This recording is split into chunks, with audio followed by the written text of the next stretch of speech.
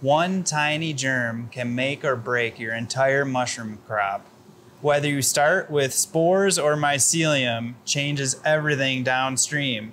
Stick around and I'll walk through seven core transfers from spores on agar all the way back again so you know exactly which method fits your setup and your goals.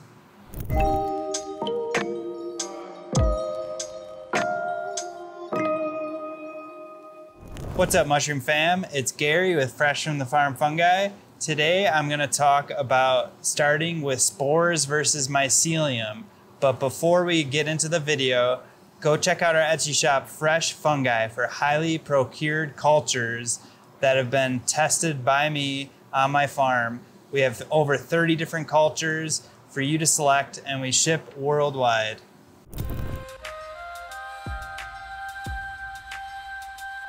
So what's the difference between spores and mycelium?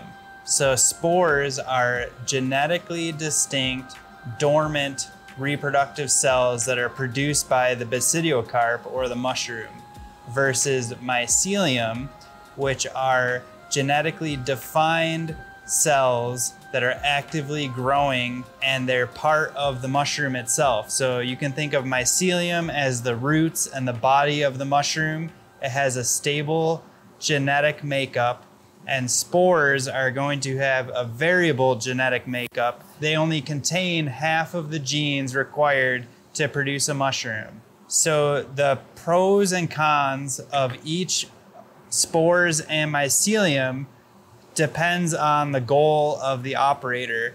So for instance, spores contain genetic diversity. So if you're looking for genetic variants or you're looking to breed mushrooms, you're going to want to start with spores. However, mycelium is going to have a dominant genetic phenotype, which is the expression of the genotype that is present in that mycelium. Starting with mycelium is going to give you more consistent results it's also going to have a shelf life and be sensitive to the environment, as opposed to spores, which haven't germinated yet. So they're going to be more resilient to the environment and they're going to be dormant until you trigger their germination and growth. So, when should you choose spores versus mycelium? So, if you're strain hunting or pheno hunting, when you're doing research, or if you're just trying to procure a strain that's more adaptive to your environment specifically. So, for example, here growing in the mountains in Colorado, there is uh, at elevation less oxygen than at sea level. For me, it was of interest to procure strains that were more resilient to CO2 and low oxygen environments. And the only way to do this was to breed out spores and find phenotypes that were resilient to low oxygen environment.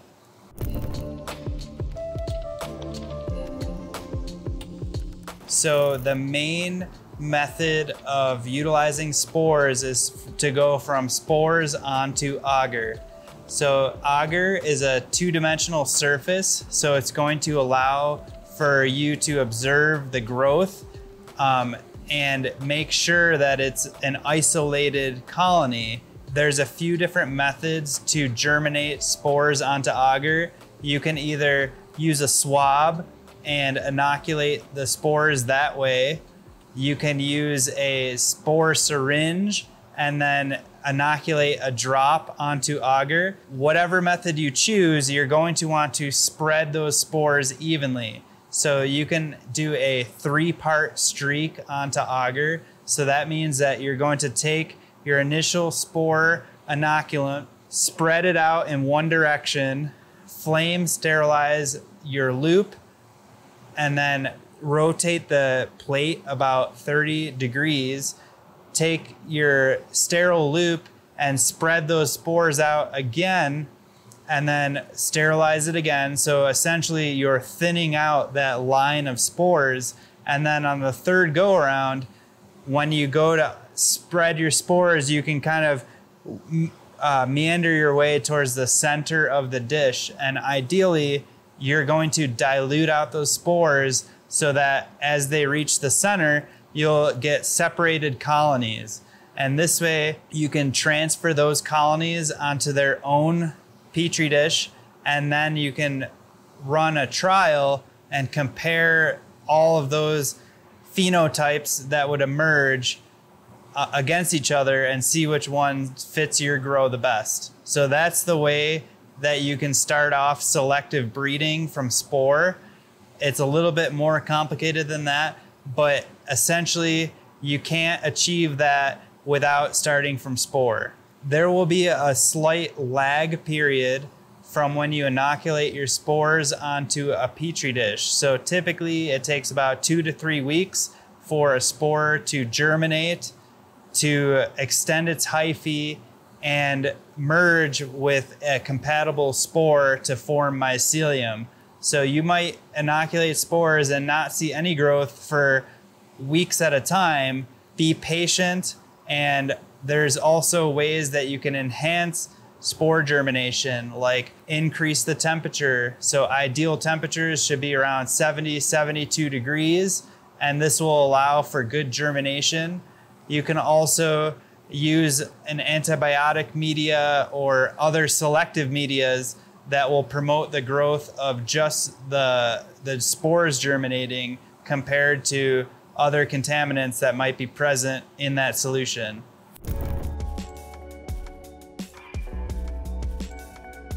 Normally, I wouldn't recommend this method. However, sometimes the skill of working with agar hasn't been developed yet, or if you just don't have the proper supplies and tools, going from spore to grain could be a decent alternative. There's some risks because you won't see contamination until it emerges. So when you utilize spores to grain, just have that in mind that there's a, going to be a higher likelihood for contamination. To go from spores to grain, you have to create a spore syringe and then you would have to inoculate that into either a grain jar or a grain bag. When you take your spore syringe and inoculate it into the grain bag, essentially what will happen is you will be creating a bunch of different phenotypes that will be competing for that same substrate. In the end, you might get a few or one or two different phenotypes that outcompete the rest, which is selecting for strong and rigorous growth. However, if there are other phenotypes that get buried or outcompeted that have other desirable traits, you'll lose out on those potentially and it doesn't really select for pinning or fruiting until later downstream. Using grain is a pro in a way that you can bypass some of the technical aspects of working with agar, but it's going to be less beneficial because you could lose out on some different phenotypes that will get outcompeted, or you might end up with a bunch of strains competing for the same resources so you might not get as good of a yield. Once you inoculate your spores into grain, you're going to want to monitor them for growth. So I recommend inoculating against the side of a grain bag or the side of a grain jar so that you can directly observe the growth. It might take a couple weeks for spores to emerge. In that meantime, you're going to want to observe for any discoloration or any weird odors that could indicate uh, bacterial contamination or mold. Once again, there's a little bit more risk when you go from spore to grain because you don't have that filter of agar in between.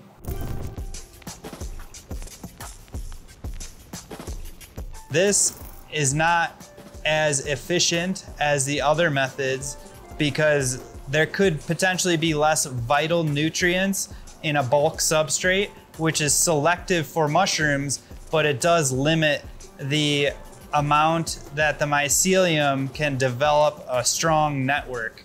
Going from spores into a bulk substrate could potentially work, but it might not utilize that mushroom's full potential, if that makes sense. Common bulk recipe for compost lovers is coir, vermiculite, and gypsum. So these are some of the most basic ingredients. You're missing out on potentially yield and rigor of your mushroom strain at this point.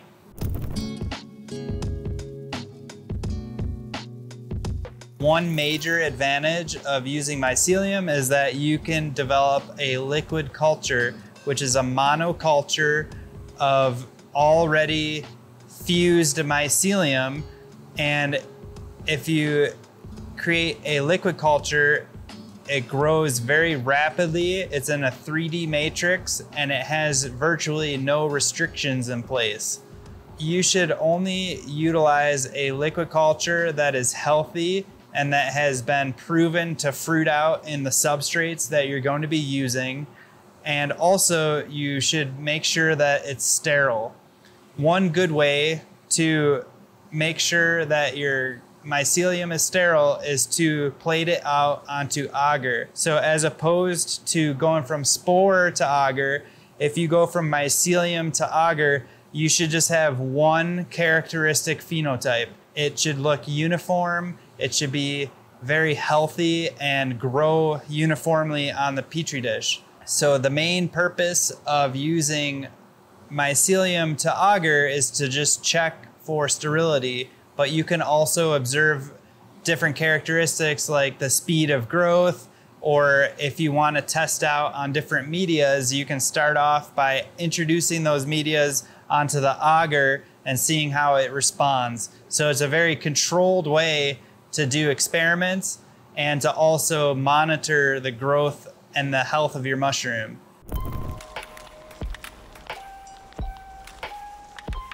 So a liquid culture will start to grow right away since it's already healthy and established.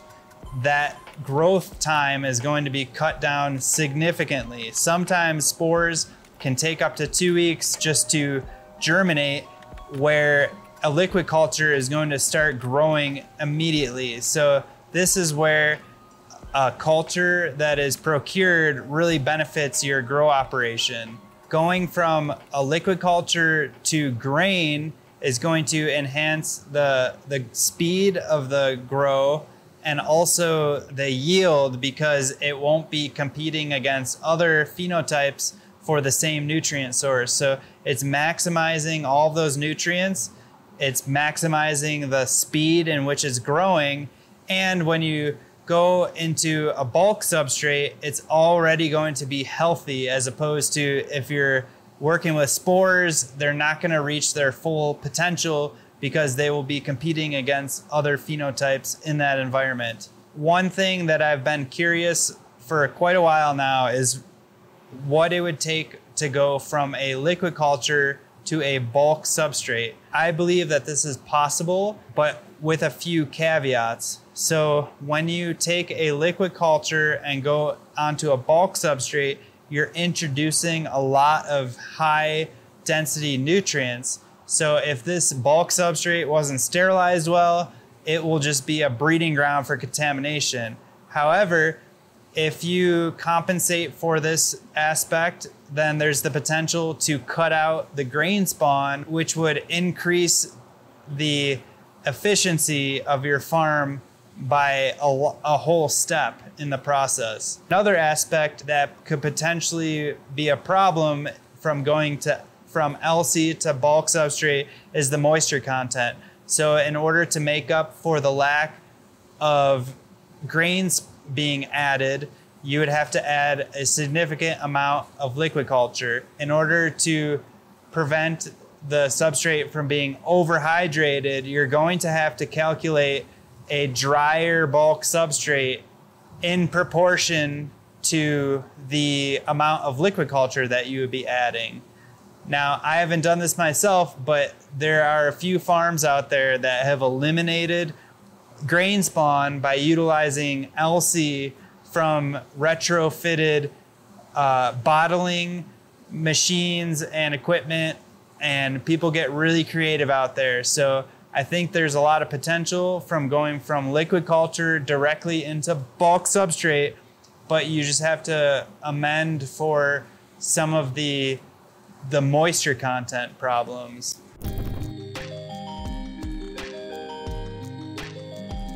So as opposed to liquid culture, you can also use an agar culture and go into grain. So it has some of the benefits of a liquid culture, except that you will know beforehand that it's definitely a clean culture because you've already gone through the quality control of starting from a petri dish. Some of the downsides of going from agar to grain is that you have to introduce the system to a liability when you open the lid. The fact that you'll be cutting that petri dish in the exposed air and then have to transfer that into the jar, which is exposed to the air, is the biggest risk in the process.